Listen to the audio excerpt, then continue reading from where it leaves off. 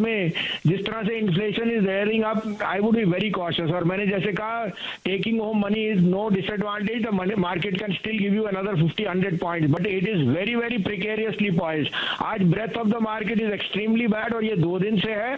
So handful of Bajaj finance and couple of other names are holding the market I I don't disagree with that but जैसे मैंने कहा, ये ETF e flows जो होते हैं generally डम money होता है और चेसेज मार्केट अप तो आपको यहाँ कौशन रखना है। आपको मैं कह रहा हूँ अगले पंद्रह दिन में बहुत मौके मिलेंगे। यहाँ पे कैश रेस करना अच्छा है। और एक बाय एक सेल है आप कहें तो मैं शुरू करूँ। इर्शाद बसीम साहब बाज़ार हमेशा तो रहता है आपके व्यूज़ सुनने के लिए। तो मैंने जैसे आपको कहा था रिलायंस और भारती मेरे लिए जून के स्टॉक्स है। रिलायंस तो चल गया, भारती नहीं चला। आप देखिए, Bharti is a no brainer उसका जो पेमेंट बैंक है that is doing extremely well Sunil Mittal is also of the idea that they can apply for a licence and a small banking can be so that they can raise deposits I think they have played out very well on the fintech side plus उनके ARPUs and expansion of five G is going to be a money spinner पाँच सौ तैतीस, साढ़े तैतीस में लीजिए keep a stop loss of five twenty three headed to five 550 sell में है ICICI Bank a very smart run up it is not able to cross 665 keep 665 as a stop loss 654 you will see 635 may be in the next two days मैं hedge करके चलूँगा. कुछ लूँगा कुछ बेचूँगा क्योंकि एज अ ट्रेडर मैंने profit बचाना है. आप कहे तो मैं शुरू करूँ। जी हाँ प्लीज़ बताइए। बेस्ट है सर तो पहला बाय अगेन रीट्रेड लॉन्ग करके चले। हेज करके चले।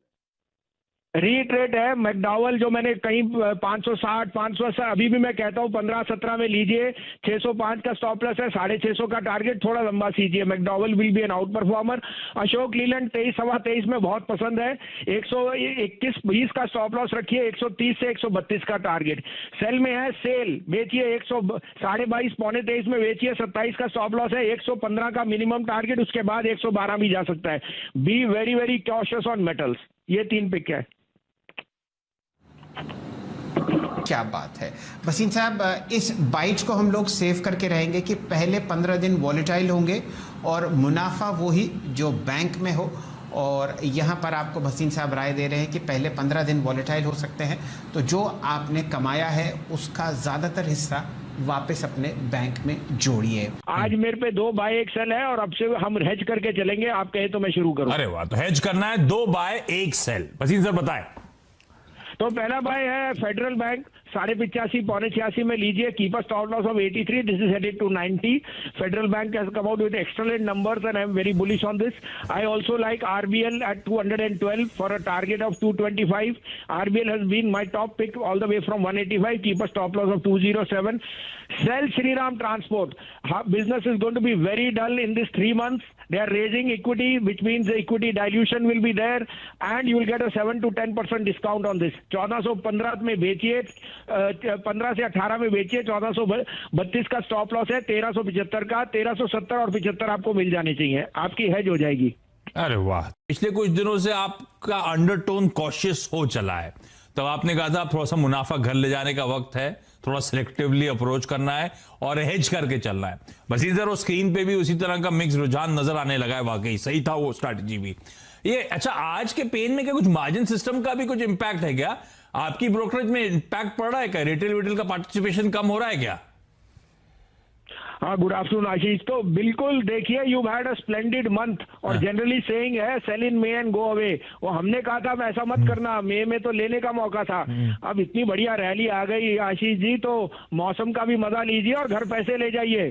Don't be a trader who's caught up in the motion and hearing the noise ये एक एक वेव ऑफ़ डम मनी है। Dumb in the sense ETF flows हैं जो सिर्फ़ लार्ज कैप्स में देखेंगे। If I see the breath of the market is extremely weak it is negative mid caps are not showing you the colour they are there is a handful of five, seven stocks which are holding the market, and that's why caution. It is always good to leave some on the table and walk away. तो I think अगर यहाँ से पचास सौ point मैं आपको दावे से कहता हूँ, आज और कल में निफ्टी में हाई बन जाएगा। उसके बाद दो हफ़्ते वॉलिटिलिटी है so you must protect your profit आपको हेज करना आता है तो बहुत अच्छा है, नहीं तो आपको अपने आप को प्रोटेक्ट करना चाहिए जिस तरह से है। Don't get lured by talk and the prices because the price is not in your favour आपने जो टिप्पणी की yes there is an effect of this we will wait for few days to play out but the broker is going to be under a double challenge if he has to cough off extra margin आपको पता है आजकल brokerage बहुत कम है so it should be taken with you know pinch of salt how you want this to go ahead. And you know because ये lockdown में the the bread and butter is actually the stock market and the revenue they get from it on taxes. अगर आप वही खा जाओगे तो फिर तो you are milking the cow ना। तो तो मे, मेरे हिसाब से we will give it some more time and then take a rational view Sethi साहब नमस्कार स्वागत है आपका। आपका अदानी पोर्ट तो कमाल करता हुआ दिखा है। मेरे ख्याल से कल की पिक थी अदानी पोर्ट राइट सेठी साहब? नहीं फ्राइडे की थी। अनिल जी फ्राइडे को दोनों स्टॉक एक तो इंफीबिन था पच्चीस तीस परसेंट बढ़ गया। और बाकी फ्राइडे को मैंने सात सौ बयासी के लेवल पे अडानी पोर्ट को रिकमेंड करा था। सात सौ साठ के स्टॉप लॉस थे वो हिट नहीं हुए और आठ सौ पच्चीस का टारगेट है जो इंटेक्ट है। और लगता है मुझे कल परसों में आठ सौ पच्चीस का टारगेट बिल्कुल आना चाहिए। आप तो सबके रडार पे है तो स्टॉक में अच्छी तेज़ी भी आ गई है।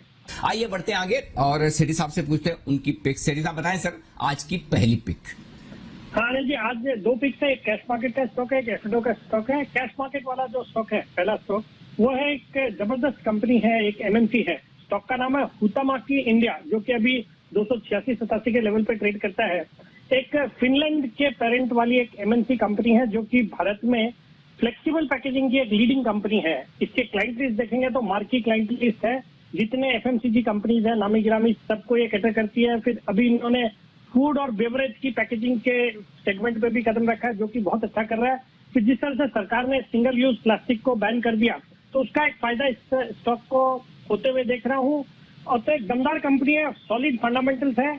आपके return on equity normal year में इसका 24 परसेंट रहता है रिटर्न ऑन कैपिटल एम्प्लॉयड सत्ताईस परसेंट डेट इक्विटी रेशियो सिर्फ़ ज़ीरो पॉइंट थ्री टू तो सब कुछ है फंडामेंटली अच्छे स्टॉक होने का, और मुझे लगता है ये स्टॉक को करंट लेवल पे लेना चाहिए। बहुत ही शॉर्ट टर्म में मेरा इसमें 305 का टारगेट है दो सौ पचहत्तर का स्टॉप लॉस ओके ये है आपके लिए दो सौ पचहत्तर के स्टॉप लॉस के साथ खरीदारी करने की राय। 305 का टारगेट रखे। हुथामा की पीपीएल जो पहले नाम होता था हुथामा की इंडिया अब हो गया है। ये है पेपर कंपनी और पेपर कंपनी में दिख रही है ज़बरदस्त तेज़ी आज के सेशन में आपको। आइए सेठी साहब से लेते हैं, उनकी दूसरी पिक सेठी साहब, बताएँ सर एफएनओ का स्टॉक कौन सा है? अरे जी जो आज का एफएनओ का स्टॉक है, वो अभी थोड़ी देर पहले दीपांशु ने चर्चा करी थी। स्टॉक का नाम है इन्फोएज नौकरी जो कि अभी चौवालीस सौ पैंतीस रुपए के आसपास जून के फ्यूचर्स ट्रेड कर रहे हैं। ये स्टॉक में भी काफ़ी दिन के कंसोलिडेशन के बाद आज एक तेज़ी बनती हुई नज़र आ रही है और वैसे स्टॉक ने अपने हाइज तो अंठावन सौ उनसठ सौ के हाइज करे हुए हैं। और इस स्टॉक में जो ट्रिगर है, वो इनका एक जो जोमेटो के आईपीओ की प्लानिंग है, वो उसका एक मेजर ट्रिगर है। इस स्टॉक को बिल्कुल आप करंट लेवल्स पे बिल्कुल लेके रखना चाहिए।